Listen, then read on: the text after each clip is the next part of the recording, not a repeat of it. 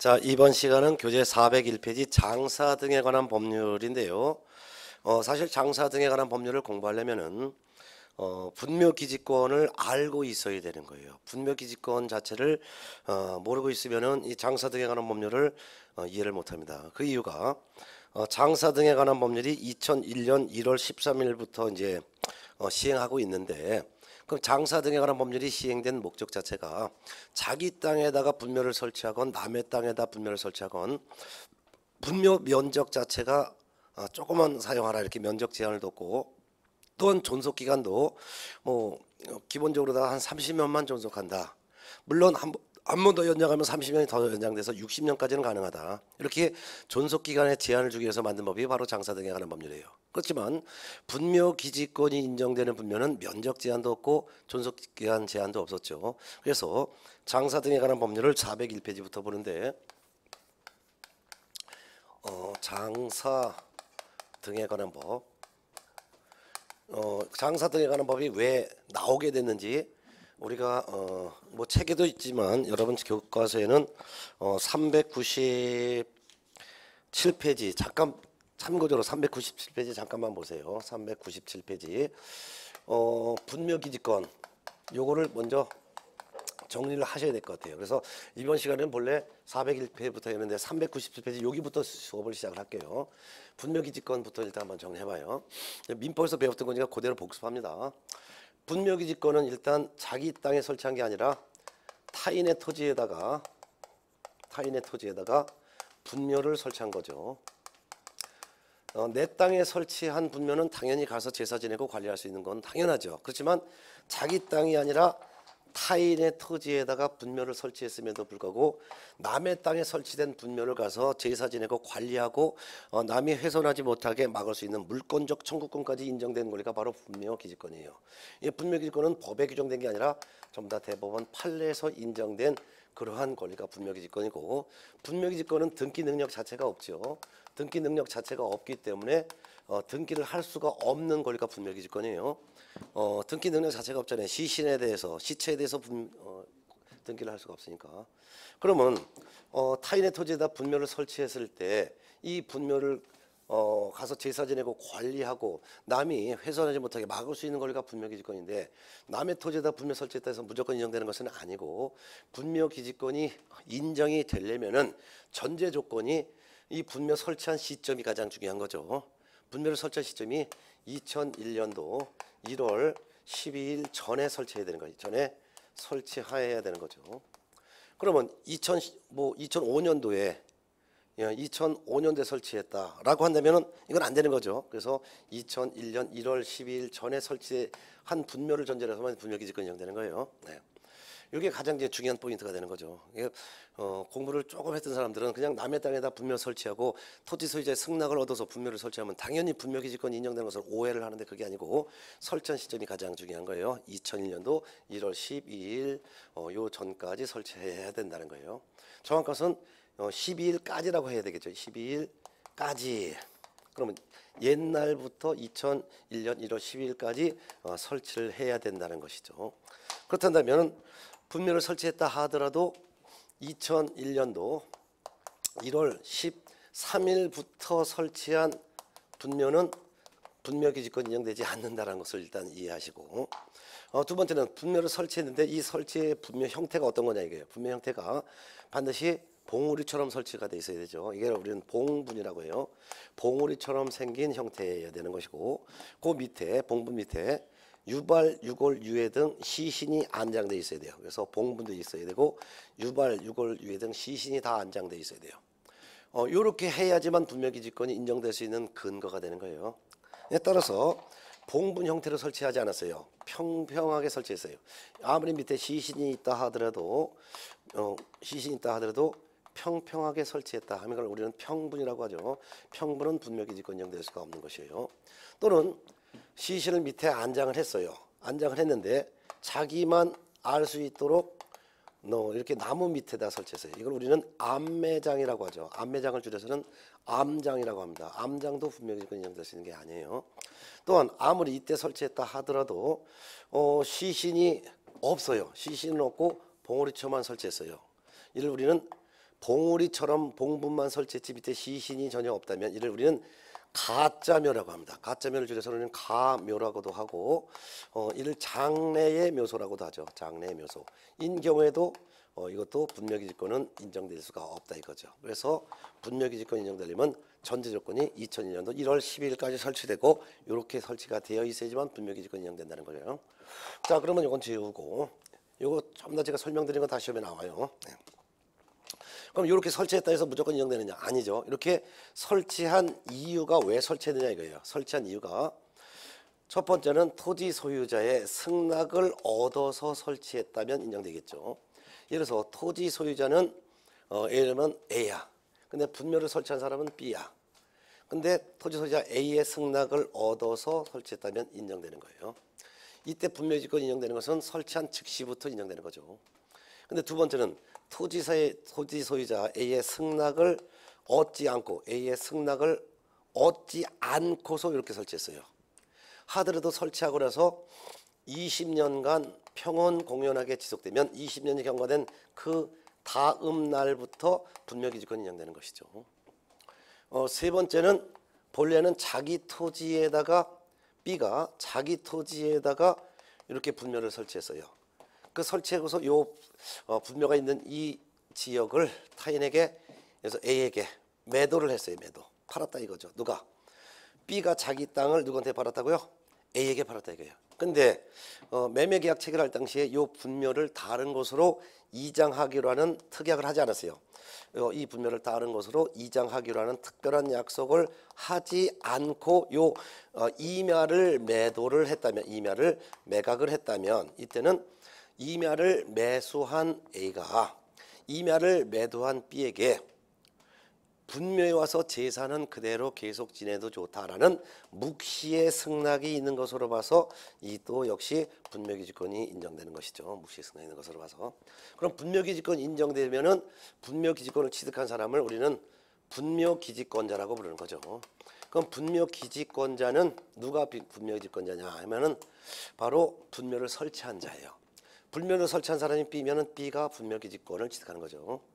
어, 근데 이 분묘 기지권자가 바로 제사를 주재하는 자이기 때문에 제사를 주재하는 자가 분묘 기지권을 취득한다 해도 옳은 말이 되는 거죠. 근데 이 분묘 기지권자가 B가 나중에 어, 죽을 수도 있어요. 사망했어요. 그럼 분묘 기지권이 같이 소멸되느냐 아니죠. 사망을 하게 되면은 이 B의 후손이 계속 관리한다면은 후손이 계속 분묘 기지권을 인정받는 거예요. 그 후손이 또 죽었다 하면은 그 또 그 다음에 후손이 계속 후손하는 거죠. 특히 제사를 주재하는 사람이 종손이라면 종손이 직접 분묘를 주재하고 관리하고 있다면 종손에게만 전적으로 분묘기지권이 전속하는 것이지 전속하는 것이지 종중이 분묘기지권을 주장할 수는 없어요. 그래서 이게 시험에 자주 나오는 거죠. 종손이 직접 분묘를 수호 관리하고 있다면 분묘기지권은 종손에게만 전적으로 존속하는 것이다. 따라서 종중은 분묘기지권이 없다 이거죠.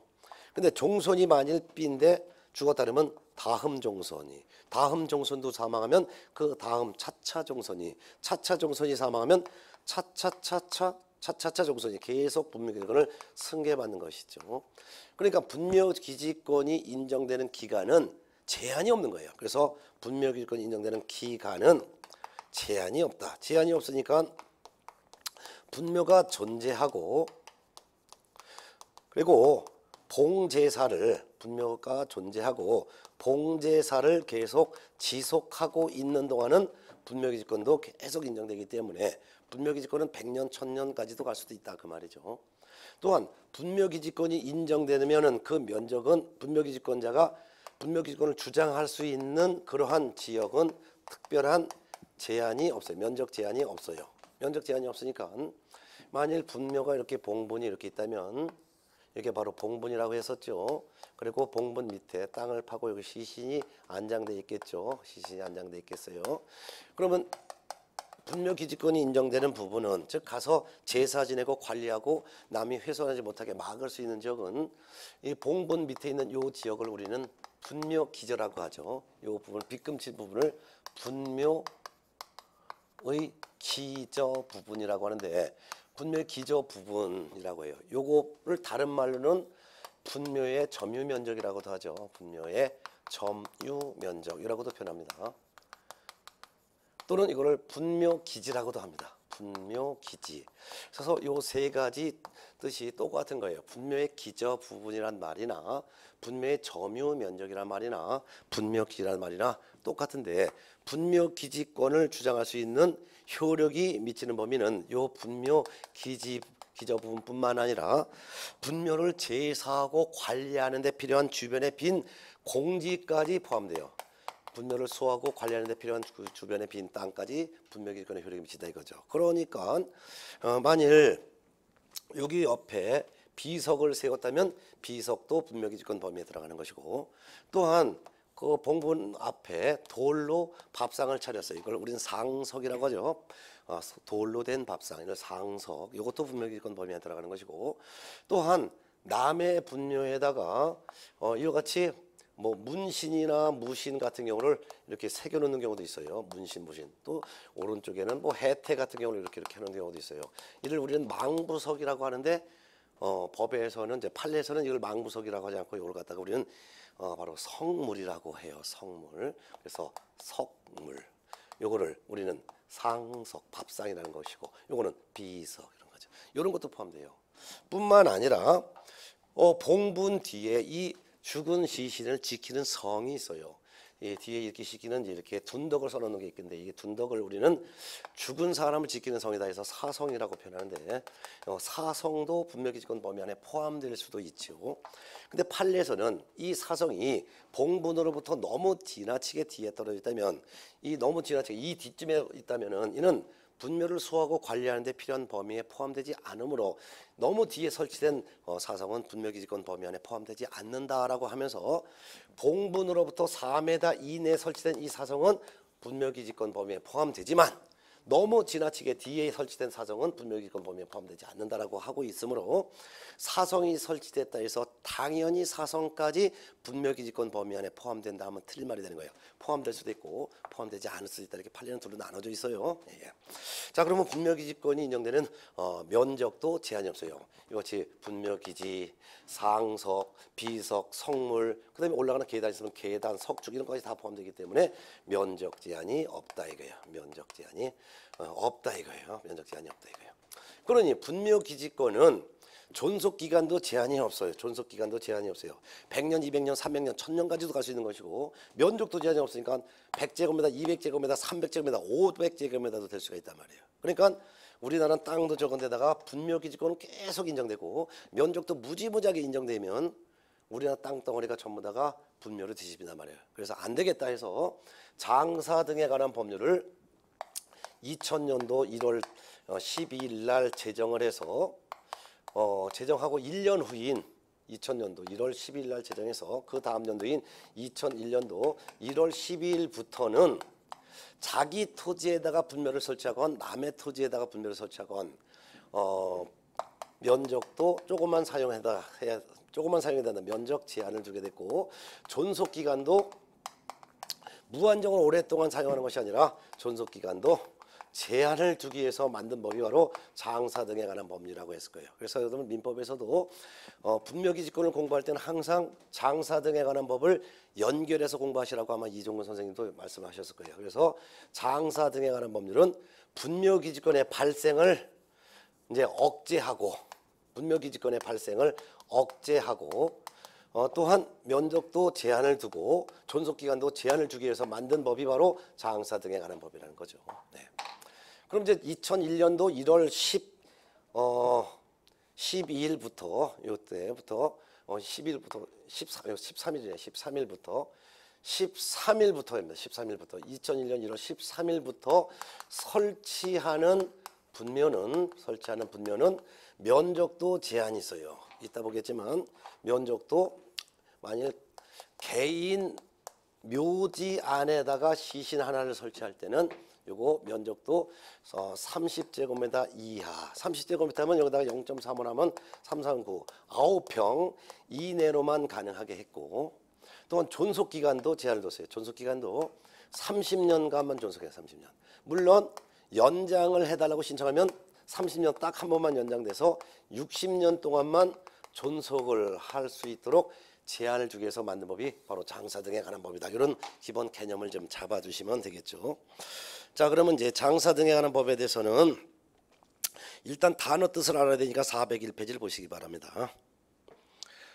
401페이지 장사 등에 관한 법률 목적은 어, 시험에 나온 건 아니지만 한번 읽어봅니다. 401페이지 기억번 이 법은 장사의 방법과 장사 시설의 설치, 조성 및 관리 등에 관한 사항을 정하여 보건 위생상의 우회를 방지하고 국토의 효율적 이용과 공공복리 증진에 이바지하는 것을 목적으로 장사 등에 관한 법이 만들어졌다. 니은번 이 법 어, 옛날엔 매장 및 묘지 등에 관한 법이었는데 이게 장사 등에 관한 법으로 법의 명칭이 바뀌었는데 이 장사 등에 관한 법은 2000년도 1월 12일 날 제정되었고 1년이 지난 2001년 1월 13일부터 설치하는 묘지 및 분묘에 관해서 적용된다. 그러니까 2001년 1월 12일까지 설치하는 묘지와 분묘는 장사 등에 관한 법에 적용을 받지 않기 때문에 면적 제한도 없고 존속 기간도 제한이 없어요. 여러분들이 명절 때 뭐 시골을 가시다 보면은 어, 이 분묘는 50년 전, 100년 전에 설치된 분묘가 있을 수도 있어요. 그래서 2001년 1월 13일 전에 설치한 묘지와 분묘는 면적도 제한 없고 존속 기간도 제한 없기 때문에 200년, 300년 가도 된다 이거예요. 그렇지만 2001년 1월 13일부터 설치하는 묘지와 분묘는 존속 기간이 제한 있고 면적도 제한을 두게 된 거예요. 네. 자, 그다음에 어, 밑에 뭐 동그라미 보면 용어의 정의가 나오는데 어, 이 용어의 정의가 시험 나오는 것은 아니에요. 그렇지만 이 법을 공부하려면 이 용어의 뜻을 정확히 알아야지만 어, 공부를 할 수 있죠. 그래서 매장이라는 거 봅니다. 매장이라는 것은 시신을 땅 속에 묻어서 장사 지내는 것을 매장이라고 하고 2번 화장이라는 것은 시신이나 유골을 불에 태워서 장사 지내는 것을 화장이라고 하며 3번 자연장이라는 것은 어, 시신을 화장을 해요. 화장하면 유골이 나오겠죠. 이 그리고 가르면 골분이 나옵니다. 이 골분을 수목이나 화초나 잔디 등의 밑에 또는 그 주변에 묻어서 장사 지내는 것을 자연장이라고 합니다. 그러니까 자연장을 하려면 첫째는 먼저 시신을 화장하여 골분을 낼 것. 그리고 이 골분을 화초, 수목, 잔디 밑에 또는 근처에 묻어서 지낸다, 장사 지낸다. 이를 자연장이라고 합니다. 그 다음에 4번 개장이라는 것은 매장한 시신이나 유골을 다른 분묘 또는 봉환 시설에 옮기거나 화장 또는 자연장하는 것을 말합니다. 즉 개장이라는 것은 시신을 땅에 묻어서 매장을 했는데 매장된 시신을 다시 꺼내서 다른 곳에 옮겨서 다시 매장하거나 또는 어, 매장한 시신을 꺼내서 화장해서 골분을 내서 이거를 어, 자연장시키는 것을 우리는 뭐 우리는 개장이라고 하죠. 그 다음에 5번 봉안이라는 것은 유골을 봉안 시설에 안치하는 것을 말합니다. 여러분들이 보면 뭐 TV에서도 보면은 봉안 시설에 가갖고 막 울고 하는 것을 볼 텐데 어, 화장을 하면 이제 골분이 나오죠. 골분을 골분 함에 담아요. 네, 골분 함에 담아가지고 어, 이렇게 해서 뭐 봉안 시설에다가 보관해놓고 거기 가서 뭐 울고 해가지고 기념물도 남겨놓고 하는 거 그게 바로 이제 봉안이라고 하는 거죠. 그 다음에 분묘 6번의 분묘와 7번 묘지를 잘 구분하시기 바랍니다. 6번 분묘라는 것은 시신이나 유골을 매장하는 시설을 분묘라고 한다. 해서 분묘하면 밑에 시신이 있는 지역을 분묘라고 하는 거예요. 그런데 어, 7번 묘지란 분묘를 설치하는 구역을 말한다. 그래서 묘지라는 것은 밑에 시신이 그럼 현재 없고 시신을 묻기 위해서 땅을 조성해 놓은 구역을 묘지라고 한다. 그래서 구분하시기 바랍니다. 묘지와 분묘는 개념이 완전히 다릅니다. 분묘는 밑에 시신이 있는 지역을 분묘, 시신이 없고 나중에 시신을 묻기 위해서 땅만 조성해 놓은 구역을 묘지 이렇게 보면 되겠죠. 그래서 땅 밑에 시신이 있느냐 없느냐 있으면 분묘, 없으면 묘지 이렇게 하면 되겠죠. 그 다음에 8번 화장시설 이란 시신이나 유골을 화장하기 위한 화장로 시설을 말합니다. 화장하는 시설을 말하는 거고요. 그 다음에 9번 봉안 시설이란 유골을 안치하는 어, 시설을 말합니다. 유골을 안치하는 시설을 봉안 시설이라고 합니다. 그러니까 유골이라는 거니까 시신을 화장하게 되면 어, 뼈가 그냥 나올 수도 있고 뼈를 골분이 나올 수 있는데 요를 어, 보관하는 안치하는 시설을 봉안 시설 하게 되겠죠. 그 다음 10번 자연장지라는 게 있습니다. 자연장지란 자연장으로 장사 지낼 수 있는 구역을 말합니다. 우리가 아까 자연장이라는 것은 화장을 해서 이 골분을 어, 화초 밑에 또는 잔디 밑에 수목 밑에 묻거나 또는 근처에 묻는 것을 자연장이라고 하죠. 근데 자연장은 아무데나 자연장을 할 수 있는 것이 아니라 자연장을 할 수 있는 구역을 별도로 지정을 하는데요. 자연장을 할 수 있는 구역을 우리는 자연장지 이렇게 표현하고 있습니다. 그 다음에 11번 수목장림 보겠습니다. 수목장림이란 산림자원의 조성 및 관리에 관한 법 제2조 1호에 따른 산림에 조성하는 자연장지를 말합니다. 그래서 산림의 자연장지를 조성하는 거. 어, 그래서 어, 산림에다가 어, 뼈가루를 묻을 수 있도록 조성한 지역을 우리는 어, 수목장림 이렇게 표현하죠. 그 다음에 12번 장사시설 봅니다. 장사시설이란 묘지, 화장시설, 봉안시설, 자연장지, 그 밖에도 어, 장례식장 등을 통틀어서 우리는 장사시설이라고 합니다. 한 장 넘어서 연고자를 보겠습니다. 연고자라는 것은 사망한 자와 관계가 있는 사람을 연고자라고 합니다. 사망한 자와 관계가 있는 자. 연고권은 내가 죽었다고 가정했다면 연고권은 일단 내 배우자가 연고권의 일수리가 되겠고요. 만약 배우자가 없으면 자식이 되겠고요. 자식이 없 자식이 없으면 부모가 되겠고 이런 순서로 됩니다. 네. 자, 그 다음에 이제 그 밑에 보면 동그라미에서 한번 시 신의 처리, 매장, 화장 이런 게 나와 있으니까 매장, 화장하는 거 읽어봅니다. 사망 또는 사산한 때로부터 24시간이 지난 후가 아니면 매장이나 화장을 하지 못합니다. 사람이 죽었을 때 바로 화장하거나 바로 매장하는 게 아니라 최소한도 24시간이 지나야지만 화장하거나 매장을 할 수가 있다 그 말입니다.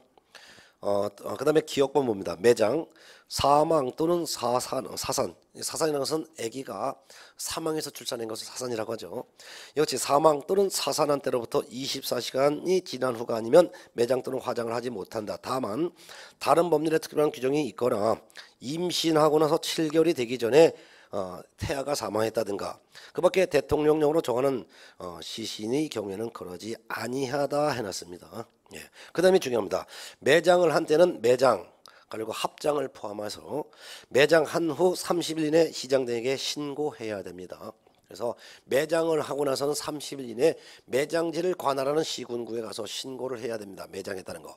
그 매장했는데 어, 예를 들어서 아버님이 사망하셔서 매장을 했어요. 그리고 30일 이내 시군구에 가서 신고했습니다. 근데 그로부터 한 1년 지나서 어머니도 돌아가셔갖고 어머니도 아버지와 같이 합장을 할 수도 있죠. 합장한 것도 매장입니다. 그러면 합장한 날로부터 또 한 30일 내에 또 어, 합장했다는 사실을 신고해야 됩니다.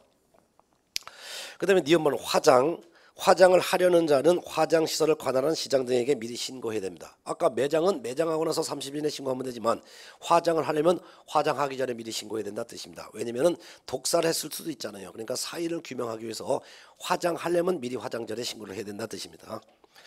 그다음에 이제 디귿번 개장을 봅니다. 개장. 개장이라는 것은 시신을 땅 속에 묻었는데요. 다시 꺼내는 걸 말하는 거죠. 어, 개장을 하려는 사람은 어, 시신 또는 유골이 현재 존속하고 있는 지역 또는 개장지를 관할하는 시장 등에게 미리 신고를 어, 각각 신고를 해야 되죠. 개장하기 전에 미리 신고해야 된다 그 말입니다. 그 다음에 동그라미 4번 사설 묘지의 설치가 있습니다. 그래서 사설 묘지 어, 사설 묘지라는 것부터 보겠습니다. 자 여기부터 시험에 나옵니다. 자 묘지라는 것은 지금 현재 시체가 없고요. 사람이 죽었을 때 시신을 묻기 위해서 미리 땅을 조성하는 구역을 묘지라고 하는데 이를 국가가 설치하면은 공설묘지라고 하고 그 다음에 사인이 설치하면 이를 사설묘지라고 합니다. 네. 근데 공설묘지는 국가 지자체 땅이기 때문에 중개 물건이 아니기 때문에 사설묘지에 대해서만 공부합니다. 사설묘지. 즉 사인이 설치한 묘지를 사설묘지라고 하는데 네 가지 사설묘지가 있습니다. 사설묘지는 첫 번째는 개인 사설 묘지가 있고 두 번째는 가족 사설 묘지가 있고 세 번째는 종중 사설 묘지 종중을 어, 문중이라고도 표현합니다. 문중 사설 묘지 마지막 네 번째는 법인 사설 묘지가 이렇게 있습니다. 어, 그러면 개인 사설 묘지라는 것은 나중에 사람이 사망했을 때 어, 분묘 하나를 설치하기 위해서만 조성한 구역을 개인 묘지라고 하죠. 이거는 30제곱미터 이하로만 설치할 수 있고 설치했으면 설치하고 나서 30일 내에 신고는 해야 될 의무는 있습니다. 신고해야 될 의무가 있죠. 그러면 개인 묘지 설치했다는 것은 지금 밑에 시신을 묻었다는 뜻이 아니라 나중에 사람이 사망하게 되면 시신을 묻기 위해서 땅만 조성해 놨다 그 말이죠. 예. 근데 시신을 묻을 때 분묘 하나만 설치하기 위해서 땅을 조사하는 거예요. 자, 가족묘지라는 게 있어요. 가족묘지는 나중에 우리 가족이 사망했을 때 본인을 포함해서 배우자, 자식들, 민법에 규정되어 있는 친족 관계에 있는 본인, 배우자, 자식이 나중에 사망하면 우리 가족들만 시신을 위해서 조성하는 구역을 가족묘지라고 하는데 이거는 100제곱미터 이하로만 조성할 수 있습니다. 잘 안 써 보이니까 노랑으로 쓰겠습니다. 100제곱미터 이하로만 어, 조성할 수 있어요. 근데 이거는 면적이 좀 크죠. 예. 종중문중묘지라는 것은 나중에 우리 종중이나 우리 문중원들만 시신을 위해서 조성한 구역인데 천제곱미터 이하로만 조성할 수 있습니다. 종중과 문중은 같은 의미로 쓰기도 하지만 어, 종중이 문중보다는 좀 넓은 의미로 쓰기도 합니다. 예를 들어서 청주한시 충성공파하면 청주한시가 좀 더 크죠. 그러면 종중이라고 하고요. 충성공파하면 그걸 문중이라고 합니다. 그래서 종중, 문중. 법인묘지는 불특정 다수의 일반 시신을 매장하기 위해서 미리 조성한 구역을 법인묘지라고 하는데 이거는 어, 이거는 커야 됩니다. 10만 제곱미터 이상으로만 설치할 수 있습니다. 그 중에서 요 개인 묘지가 가장 적죠 면적. 그러니까 이거는 설치하고 나서 나중에 신고만 하면 될 의무가 있지만 나머지 요거는 좀 면적이 큽니다. 그렇기 때문에 세 가지는 먼저 허가를 받아야지만 나중에 설치할 수가 있다는 차이점을 꼭 기억해 두시기 바랍니다. 예. 이렇게 책에 다 있으니까 꼭 시험에 나오니까 알아두시기 바랍니다. 자, 그 다음에 동그라미 5번 403페이지 묘지 설치의 거리 제한인데 이건 그렇게 중요하니까 넘어가고요. 어, 어디 넘어가냐 404페이지로 넘어가시기 바랍니다. 분묘의 점유면적 거기다가 별표 넣으시기 바랍니다. 사설 묘지 설치에다가 별표 두 개, 그 다음에 분묘의 점유 면적 404페이지 거기다가 별표 두 개 놓으시기 바랍니다. 분묘의 점유 면적이라는 것은 뭐냐면요. 분묘라는 것은 시신을 어, 안장한 구역이 분묘죠. 그러면 개인 묘지 안에다가 여기다가 분묘를 설치할 수 있죠. 개인 묘지 안에다가 시신을 설치한다. 신고 의무가 있다 했었어요. 그러면 개인 묘지가 여기다 그러면 개인 묘지에다가 이렇게 시신을 어, 설치하는데 개인 묘지는 면적 개인 묘지 안에다가 분묘를 설치할 때 이 분묘의 점유 면적은 몇 제곱미터를 할 수 있냐 이거예요. 예, 요거는 개인 묘지 면적과 똑같이 30제곱미터 이하로만 가능합니다. 아까 개인 묘지 자체가 30제곱미터 이하고 개인 묘지 안에다가 시체를 묻는 것도 어, 분묘 기지와 상석, 비석 등을 합쳐서 전체도 어, 전부 30제곱미터 이하로만 가능합니다. 근데 가족 묘지와 종종 분종 묘지 요 세 가지 다른 사설 묘지 안에다가 어, 시신을 묻는다 하면은 어, 가정 묘지 안에다가 시신을 묻건 또는 종중 문중 묘지 안에다 시신을 묻건 또는 법인 묘지 안에다 시신을 묻건 시신을 이렇게 딱 묻었겠죠. 그리고 요 면적 자체는 어, 봉분을 포함해서 상석 비석 전체를 합쳐서 요거 면적은 면적이 적습니다. 바로 요거는 10제곱미터 이하로만 설치할 수 있습니다. 10제곱미터 이하. 근데 합장을 할 수도 있습니다. 이 안에다가 합장. 합장을 하게 되면은 5제곱미터가 초과됩니다. 그래서 합장을 하게 되면 5제곱미터를 초과해서 15제곱미터까지는 합장을 할 경우에는 가능하다. 요거 면적을 외워두셔야 합니다. 그래서 개인 묘지 안에다가 시신을 안장하는 것은 30제곱미터 이하. 나머지 사설묘지에다 설치하는 것은 10제곱미터 이하. 근데 합장을 할 때는 추가로 5제곱미터를 초과해서 총 15제곱미터까지 초과, 15제곱미터까지 가능하다. 이거를 꼭 기억을 해 두셔야 될 것 같습니다. 네. 그 다음에 분묘 설치 기간 거기 동그라미 9번 있는데요. 거기도 별표 해놓으시기 바랍니다. 아주 중요해요. 분묘 설치 기간은 30년입니다. 30년. 아까 장 이거 분묘 기지권 인정됐으면 분묘 기지권이 존속되는 기간은 제한이 없었죠. 분묘가 존재하고 봉제사를 계속하면 30년이나 50년, 100년, 200년, 300년까지 갈 수 있었죠. 그렇지만 장사 등에 관한 법률이 시행된 이후부터 설치된 분묘는 예, 무조건 30년. 아, 다만 존속 기간의 연장을 신청하면 30년씩 딱 한 번 연장이 돼서 어, 30년이 추가로 연장됩니다. 그래서 총 60년까지만 가능하다는 거 시험에 꼭 나오니까 알아두세요. 그 다음에 동그라미 10번 설치 기간이 종료된 분매 처리 이것도 별표 넣으시기 바랍니다. 설치 기간이 끝난 분매 연구자는 설치 기간이 끝난 날부터 1년 이내 1년이 중요합니다. 1년 이내에 해당 분매에 설치된 시설물을 절거하고 매장된 유골을 화장하거나 보관을 해야 됩니다. 예를 들어서 어, 분명 설치했다 그러면 일단 30년을 보장받죠.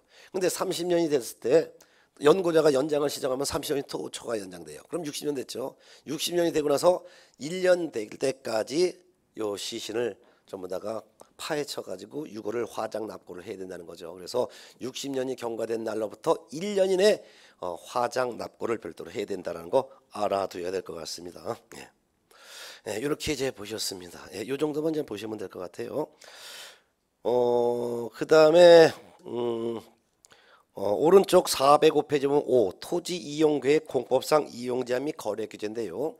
어, 개공이 매수인에게 물건을 설명할 때 매도인의 물건이 토지 이용 계획이라든가 또는 공법상 규제라든가 이용 제한을 받는 사실이 있으면 이것도 확인해서 설명을 해야 되는데 그 중에서 406페이지 넘어가면 양가로 1번 농지 취득 자격 증명제 즉 농지법에 나와 있는 농지를 중개할 때 어, 개공이 농지를 어떻게 설명해야 될지 이게 아주 시험에 잘 나와요. 그래서 농지 취득 자격 증명제에다가 별표를 세 개 해놓으시기 바랍니다. 어, 요 농지 취득 자격 증명제는 농 어, 부동산 관련 공법 뭐 김동영 선생님을 통해서 배운 내용과 한 글자도 안 틀리고 똑같습니다. 그래서 농지라는 개념부터 한 번씩 한번 정리하겠습니다. 별표만 새겨 놓으세요. 자, 농지라는 것은 어, 지목이 전, 답, 과수원 인 경우에도 농지고 전답 과수원이 아니라 하더라도 법적 지목과 상관없이 실제 토지가 농경지로 이용되고 있으면 농지로 볼 수 있다는 것이 원칙이죠. 그래서 농지란 전답, 과수원, 기타 법적 지목 여에 불구하고 실제 토지 현상이 농작물의 경작 또는 다년생 식물의 재배지로 이용되고 있는 토지 등을 농지라고 한다라고 하고 있죠. 그러면 이 농지법에 규정하고 있는 농지를 사실상 크게 나눠보면 어, 세 가지를 주의하셔야 되죠. 해마다 시험제 나오는 거니까 첫 번째는 지목이 전답 과수원이면 어, 이런 지금 현재 농경지로 이용하고 있건 휴경 상태 있건 지목이 전답 과수원이면 농지라고 보는 거죠.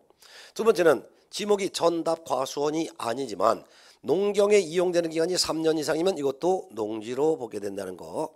또한 지목이 임야지만 형질 변경을 받아서 다년생 식물 재배지로 이용하고 있다면 이것도 농지로 본다는 거죠. 예, 요거 꼭 기억해 두시기 바랍니다. 매년 시험 나오니까 농지의 개념에 대해서는 무조건 시험 한 지문에 나와요. 예, 농업이란 개념이 나오는데 농업인 개념은 그냥 한번 읽어보든가 말든가 해도 됩니다. 시험에 나오진 않아요. 농업이란 농업에 종사하고 있는 개인 등을 말한다 이렇게 보면 되겠죠. 그 다음에 오른쪽에 농업 경영이라는 게 있어요. 407 407페이지 농업 경영. 농업 경영이란 농업인이나 농업법인이 자기의 계산과 책임으로 농업을 영위하는 것을 말한다. 그래서 농업 경영이란 농사꾼이 자기 돈과 자기 힘으로 농사 짓는 것을 농업 경영이라 한다. 이렇게 보면 되겠죠. 자경이라고 밑에 또 있네요. 5번 자경. 자경 스스로 경작한다 이거죠. 자경이란 농업인이 그 소유 농지에서 농작물을 경작하거나 또는 다년생 식물 재배에 상시 종사하여 농작업의 2분의 1 이상을 자기의 노동력으로 경작하거나 또는 어, 직접 재배하는 것 또는 농업법인이 그 소유 농지에서 농작물을 직접 경작하거나 단연생 생식물 재배지를 직접 어, 경작하는 것을 우리는 작용이라고 한다. 쉽게 해서 어, 농사꾼이 직접 어, 자기의 노동력 2분의 1 이상을 투자해서 농사 짓고 있는 것을 우리는 작용이라고 한다. 이렇게 보면 되겠죠.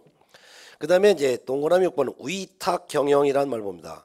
농업 경영과 위탁 경영은 개념이 완전히 다릅니다. 그래서 어, 동그라미 4번에 있는 농업 경영은 자기 돈과 자기 힘으로 농사 짓는 것을 농업 경영이고 그 다음에 동그라미 6번 위탁 경영은 남한테 맡기는 거예요. 자 위탁 경영이란 농지 소유자가 타인에게 일정한 보수를 지급하기로 약정을 하고 농작업의 전문화 또는 일부를 맡겨서 위탁하여 행하는 농업 경영을 말한다. 그래서 농업 경영과 위탁 경영은 개념이 다른데 농업 경영은 지가 지 돈으로 지 책임으로 지가 농사 짓는 걸 농업 경영 그다음에 위탁 경영은 남한테 돈 주고서 대신 농사 져 달라고 하는 거 이를 위탁 경영 그다음에 동그라미 7번 농지의 전용이라는 걸 봅니다. 농지의 전용이란 농지를 농작물의 경작이나 단형생 생물 재배 등 어, 이와 같은 농입 생산 또는 농지 개량 외의 용도로 사용하는 것을 말한다. 즉 농지의 전용이란 농지를 다른 용도로 쓰는 것을 농지 전용이라고 쓴다. 보면 되겠죠. 어, 농지 소유 제한이라는 게 있습니다. 농지 소유 제한. 즉 농지는 농사 짓는 농업인 또는 농업법인 등만이 소유할 수 있는 것이지 농사 짓지 않는 사람은 농지를 소유하지 못합니다. 이를 우리는 농지는 농사 지을 사람만 가질 수 있다 해서 경자 유전의 원칙이라고 하지요. 그렇지만 예외적으로 농사 짓지 않는 사람도 예외적으로 농지를 소유할 수 있는 방법이 있는데요. 어, 1, 2, 3, 4, 5, 6, 7번 쭉 있는데 이게 시험에 나온 건 아니고 이해만 하면 되죠. 일단 1번 국가나 지자체 등이 어, 또는 농어촌 공사가 농지를 소유하는 경우 이런 경우도 국가나 지자체나 농어촌 공사는 농사권이 아닌데도 불구하고 농지를 있죠. 2번 주말 체험 영농을 목적으로 농지를 취득하는 경우 즉 그래서 애들하고 취미 영농 생활을 하기 위해서 조금 농지를 취득하는 거이고 농사꾼 아닌데도 취득할 수 있다고 말이죠. 3번 상속으로 취득하는 경우 아버지가 농사꾼이신데 어, 자식은 강사예요. 근데 아버님이 자꾸 하시면 아버님의 농지를 농자 농지 어, 농사꾼이 아닌 학원 강사도 이제 농지를 상속받을 수 있죠. 또한 네 번째 8년 이상 농업 경영하다가 이농하는 경우죠. 농사 짓다가 8년 이상 농사 짓다가 농사 짓지 않고 뭐 도심으로 떠나서 술집을 한다든가 음식점을 한다든가 하는 경우에도 어 농지를 계속 일정 부분은 소유할 수 있어요. 이거는 나중에 나오지만 1만 제곱미터까지는 계속 소유할 수 있습니다. 농사 짓다가 8년 어, 이상 농사 짓다가 떠나면은 농사 짓지 않고 서울로 떠나면은 농지를 1만 제곱미터까지는 계속 소유할 수 있도록 제한을 뒀, 어, 어, 예를 뒀습니다. 그다음에 어, 담보 농지를 취득하여 소유하는 경우가 있어요. 담보 농지를 소유하는 경우는 은행이 농지를 담보 제공받고 돈을 빌려줬는데 어, 농사꾼이 빚을 안 갚으니까 저당권자인 은행이 농지를 경매에 붙여서 은행이라고 하는 담보권자가 농지를 취득한 것을 우리는 담보농지 취득이라고 하죠. 그러면 은행은 저당권자지 농사꾼이 아니에요. 근데 은행이 경매를 붙여서 그 농지를 낙찰 받아서 소유하면 은행은 농업인이 아닌데도 불구하고 농지를 소유할 수 있는 것이죠. 그 다음에 어, 농지 전용 허가를 받거나 농지 전용 신고를 한 자가 당의 농지를 소유하는 경우 예를 들면 논이에요. 근데 그렇다가 어, 논으로 사용하지 않고 미꾸라지를 키워서 사용하겠다라고 할 수도 있죠. 또는 이런 경우에는 이제 미꾸라지 키우는 사람은 추어땅 사장님이에요. 농사꾼이 아니죠. 하더라도 농지를 다른 용도로 사용하기로 신고나 허가를 받아서 소유할 수 때는 이때는 어, 농업인이 아닌데도 불구하고 농지를 소유할 수 있고요. 그 다음에 7번 농지 전용 협의를 완료한 농지를 이때 취득하는 경우도 역시 농사꾼이 아니어도 취득할 수 있죠. 예를 들면은 어, 농지가 지금 현재 농지인데 농림부 장관하고 도지사가 협의해서 여다가 어, 신도시를 개발하기로 했다라고 한다면은 다른 용도로 쓰기로 완전히 협의가 끝났죠.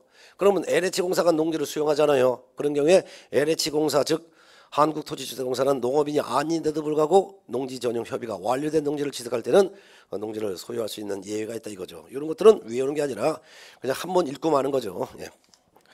농지 취득 자격 증명제라는 게 반가로 3번 나와 있습니다. 농지 취득 자격 증명제라는 것은 어, 누구든지 농지를 소유권을 취득하려면 등기를 해야 되는데 등기하려면 시구 읍면장이 발급해준 농지 취득 자격 증명원이 있어야지만 농지에 대한 소유권 이전 등기를 할 수가 있다 그 말입니다. 그래서 일반적인 부동산에 대해서 이전 등기할 때는 그냥 등기 의무자인 매도인의 인감증명과 주민등록 초벌을 내면은 매수인 앞으로 이전 등기를 해주지요. 그런데 유일하게 농지만 별도로 농지취득 자격증명원을 별도로 등기소에 내야지만 이전 등기해 주죠. 이게 바로 농지취득 자격증명제라는 말이 되겠습니다. 예. 예, 넘어가겠습니다. 교재 408페이지 농지취득 자격증명 발급이 요하는 경우와 농지 취득 자격 증명 발급이 요하지 않는 경우를 구분해서 해놨으니까 이것도 구분해서 꼭 알아두셔야 됩니다. 일단 매매를 통해서 농지에 대한 소유권 이전 등기할 때도 농지증이 있어야 되죠. 증여를 통해서 농지를 소유권 이전 등기할 때도 농지증이 있어야 되는 거예요. 경매, 공매, 판결, 조소인 경우에도 농지증이 있어야 됩니다. 특히 아주 중요한 것은요. 리얼번입니다. 농지 전용 허가를 받거나 농지 전용 신고를 한 자가 당의 농지를 소유하려는 경우에도 농지 취득 자격 증명원을 등기소에 내지만 취득할 수가 있다는 거. 근데 동그라미에서 한번 농지 취득 자격 증명 없어도 농지를 취득할 수 있는 경우가 쭉 있는데 그 중에서 중요한 것이 바로 4번과 6번이 아주 중요하죠. 4번, 5번, 6번. 농지 전용 협의가 완료된 농지를 취득하는 경우는 농지증이 필요 없다 이거죠.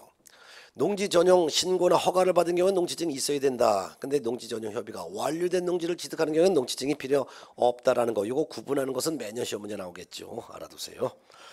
어, 그다음에 동그라미 4번 농지증 발급 신청인데요. 농지 취득 자격 증명 발급 신청은 시험에 나오지 않고 그냥 이해만 하면 됩니다. 어, 농지 취득 자격 증명을 발급받고자 하는 사람은 즉 농지 매수인이 되겠죠. 농업 경영 계획서를 작성해서 이를 시구 읍면장한테 농지 취득 자격 증명 발급해 주세요라고 신청서를 내면은 어, 시구 읍면장은 어, 농업 경영 계획서를 첨부하여 농지증을 발급 신청을 했을 때는 4일 이내에 농지 취득 자격 증명을 발급을 해 줍니다. 그럼 농지 취득 자격 증명 발급 받았으면 이를 등기소에 내서 이전 등기를 한다라는 말이 되겠죠. 이런 내용 꼭 알아두세요. 자, 그 다음에 오른쪽에 농지 소유 상한 제한 409페이지 위에서 세 번째 줄 보시기 바랍니다. 농지 소유 상한 어, 농업인은 농지 소유 면적 제한이 없습니다. 따라서 농업인은 100만 제곱미터를 소유하건 1000만 제곱미터를 소유하건 제한이 없고 비농업인만 농지 소유 면적 제한이 있습니다. 그래서 1번 비농업인이 상속으로 농지를 취득을 했을 때는 이거 1만 제곱미터까지만 소유할 수 있습니다. 아버님이 농사 짓을 때 100만 제곱미터 농지를 갖고 계시다가 돌아가셨어요.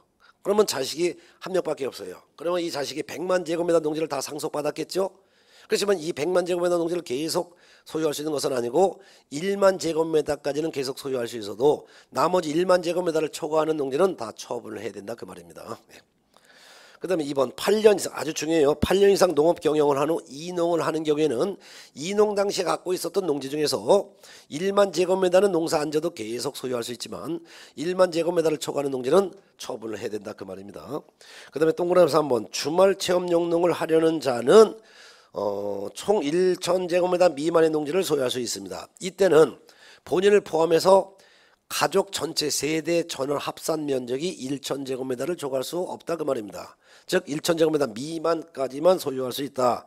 그래서 제가 어, 주말 체험 용농을 목적으로 한다면 저를 포함해서 제 배우자, 제 자식 합쳐서 999제곱미터까지만 주말 체험 용농 목적으로 취득할 수 있고 999제곱미터를 초과하여는 주말 체험 용농 목적으로 취득할 수 없다는 거예요.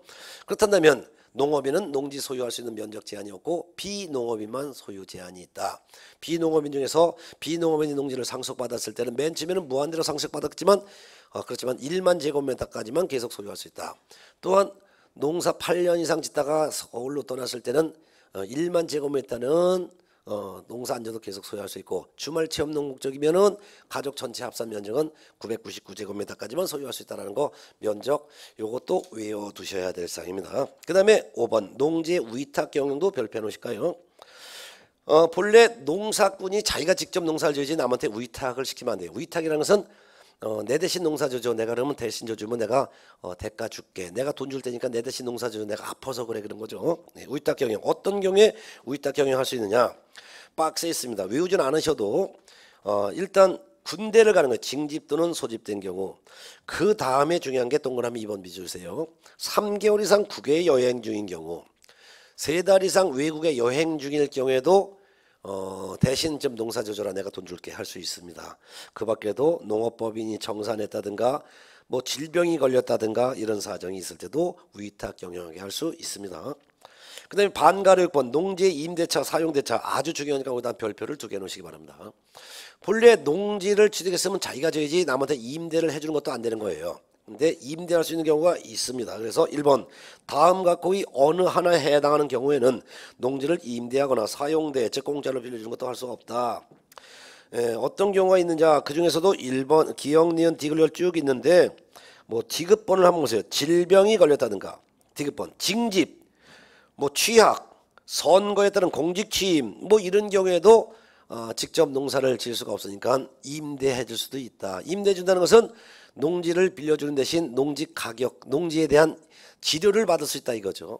그러면 위탁 경영과 농지 임대차는 다른 거예요. 위탁 경영은 내가 농사꾼이 돼 내가 농사 지을 수 있는 지금 여력이 안 되니까 내가 돈 줄 테니까 내 돈 내가 돈 줄 테니까 내 대신 좀 농사를 좀 대신 줘줘라고 부탁하는 것이고 임대를 한다는 것은 어, 지료를 받고 빌려주는 거예요 농지를 사용대라는 것은 지료 안 받고 그냥 공짜로 농사 짓게 빌려주는 거 이거 또 할 수 있다 넘어갑니다.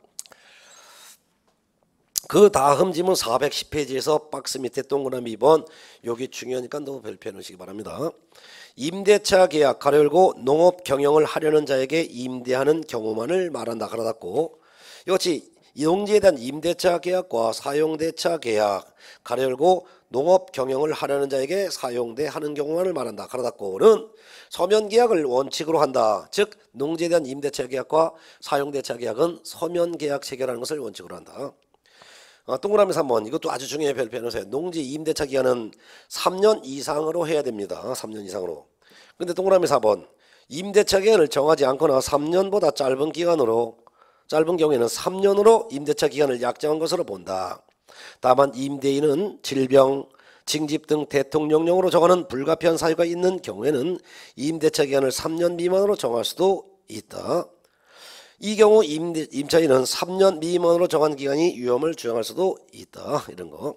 그 다음에 동그라미 5번 볼게요. 그것도 별표하세요. 농지 임대차 계약은 그 등기가 없는 경우에도 즉 농지에 대한 임대차 등기가 없는 경우에도 농지를 임차한 임차인이 농지 소재지거나 시구 읍면장에 확인을 받고 해당 농지를 인도받은 경우에는 그 다음 날부터 제3자에 대해서 효력이 생긴다. 즉 농지에 대해서도 대항 요건을 갖추면 그 다음 날부터 제3자에 대해서 자기 권리를 주장할 수 있는 힘이 생긴다 그 말이죠. 이런 임대차 계약 확인을 받고 그 다음에 농지를 인도받으면 그 다음 날부터 대항력이 생긴다 그 말이죠. 네, 이런 거 꼭 알아두셔야 될 사항이 되겠습니다. 그 다음에 동그라미 6번 봅니다. 임대차 계약의 당사자는 임대차 기간, 임차료 등 임대차 계약에 관하여 서로 협의가 이루어지지 아니한 경우에는 농지 소재지를 관할하는 시군, 시장 군수 또는 자치구청장에게 조정을 신청할 수 있다. 그 말은 농지를 임대차 했는데 어, 지려 갖고 서로 싸움이 벌어지면 조정을 신청할 수도 있다 그 말이죠. 이때 시군구청장은 조정의 신청이 있으면 지체 없이 농지 임대차 조정위원회를 구성하여 조정 절차를 개시를 해야 된다. 7번 임대인이 임대차 기간 끝나기 3개월 전까지 임차인에게 임대차 계약을 갱신하지 아니한다는 뜻이나 임대차 계약 조건을 변경한다는 뜻의 통지가 없다면 그 임대차 계약 끝난 때에 이전의 임대차 계약과 같은 조건으로 다시 임대차 계약을 한 것으로 본다라는 묵시적 갱신도 인정한다라는 거. 그 다음에 8번도 중요하니까 별표하세요. 임대 농지의 양수인은 이 법에 따른 임대인의 지위를 승계한 것으로 본다. 예를 들어서 어, 농지를 매수를 했는데 이 농지를 지금 현재 농지 소유자가 사용하는 것이 아니라 농지를 다른 사람에게 임대를 해줬다 이거예요. 그러면 임차 농지를 매수한 사람은 그 임차인이 임대차 기간 끝날 때까지 농지를 사용할 수 있도록 보장을 해주고 임대차 기간 끝났을 때 이 농지 임차인에게 보증금을 반환해줘야 될 의무를 농지 매수한 사람이 그대로 떠안는다 그 말이죠. 그래서 임대 농지의 양수인은 이 법에 의해 따른 임대 내지를 그대로 떠안는다 그런 거. 어, 그 다음에 뭐 반가로 질문 대리 경작자 지정은 여러분이 한번 보든가 하시고 오른쪽에 마지막 411페이지 농지 처분 명령 거기다가 별표 하나 넣으시기 바랍니다. 농지의 소유자는 농지를 자기의 농업 경영에 이용하지 않을 경우 또는 농업 경영 계획서의 내용을 이행하지 않는 등 사유가 발생한 때는 1년 내에 1년 내에 당해 농지를 처분해야 된다. 즉 농지를 취득할 때는 농업경영계획서를 시구 읍면장한테 냈죠. 그랬죠. 그럼 시구 읍면장이 어, 이 농지를 매수한 사람이 이렇게 농사를 짓겠다는 것을 확인하고서 농지증을 끊어줬어요. 근데 농지를 취득해 놓고서는 농업경영계획서대로 이행을 하지 않고 쓰지 않고 있더라 이거죠. 그럴 때는 어떻게 하냐 시군구청장은 처분 의무 기간 내에 처분 대상 농지를 처분하지 아니한 농지 소유자에 대해서 6개월 이내에 농지를 처분할 것을 명령할 수 있고 6개월 이내 처분하는 명령을 받고도 처분하지 않았을 때는 매년 계속 농지 금액의 100분의 20의 이행 강제금을 물게 됩니다. 예, 예, 이런 것도 알아두시면 되겠습니다. 여기까지가 바로 이제 농지에 관련된 내용인데 어, 시험에서는 어, 중개대상물 조사 확인 강론 실무 파트에서는 권리 관계 쪽에서 한 문제, 그다음에 공법상 규제 사항에서 한 문제 이렇게 나온다면은 권리 관계 중에서는 등기가 안 된 분묘기지권과 장사 등에 관한 법률에서 한 문제를 내는 것이고, 그다음에 농지가 중개 대상물일 때 농지에 대해서 매수인에게 설명할 내용 이런 내용이 산 문제가 나오니까 잘 알아두시기 바랍니다. 412페이지 제4절 중개 대상물 확인 설명서 작성 방법은 별표만 3개 해놓으시고 확인 설명서 작성 방법에 대해서는 제가 다음 과정 때 확인 설명서를 작성하는 방법을 설명을 드리도록 할 거예요. 그리고 그럼 쉬었다가 어디를 볼 거냐면은 교재 436페이지 거래계약서 작성 실무부터 쉬었다 하도록 하겠습니다. 예.